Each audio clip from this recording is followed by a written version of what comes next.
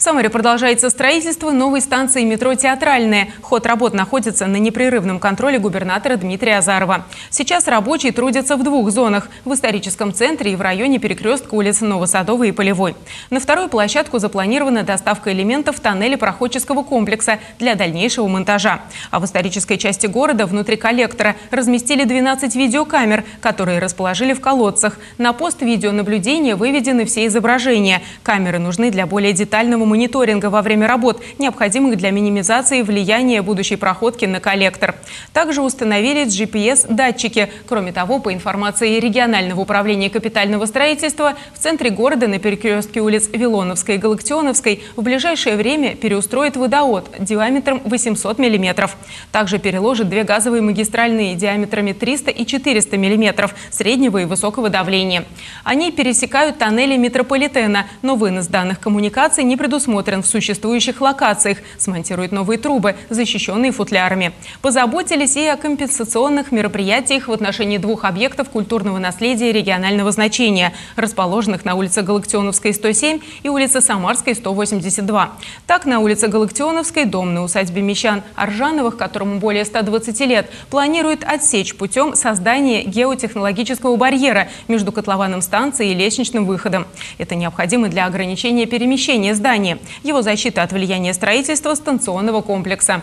Согласно проекту, запланировали работы методом струйной цементации грунтов. После бурения под основание дома, благодаря нагнетанию строительного материала под избыточным давлением, заведут грунтно-цементные сваи, устроят 42 вертикальные и 20 наклонных свай. На улице Самарской, где находится ОКН, постройки конца 19 века, есть необходимость укрепления грунтового массива путем пропитки грунтов. Здесь предусмотрены грунтно-цементные сваи, который планируется устроить под наклоном в 9 градусов. Произведут цементацию основания. На опытном участке смонтируют так называемые манжетные колонны. А в дальнейшем, когда начнется проходка, можно будет производить непосредственно компенсационные нагнетания, которые стабилизируют дом при возникновении ненормативных осадков. Согласно нормативу, они возможны, но не более чем на 5 миллиметров. После завершения строительства и ввода театральной в эксплуатацию жители отдаленных районов региональной столицы смогут быстро и комфортно добираться добраться до исторического центра и обратно. С ростом пассажиропотока в подземке муниципальное предприятие «Самарский метрополитен» обеспечит сокращение интервала движения поездов до 7-8 минут. Для этого продолжают обновлять подвижной состав. Недавно еще 6 вагонов отправили в Санкт-Петербург на капитальный ремонт в заводских условиях. Обучат и дополнительную группу машинистов. Повышение комфорта перевозок и развитие транспортной инфраструктуры региональной столицы является одним из приоритетных направлений деятельности. Это нужно, это важно, особенно тем районам, предположим, наш советский район, который бы хотел побыстрее добраться до центра города, до каких-то мест.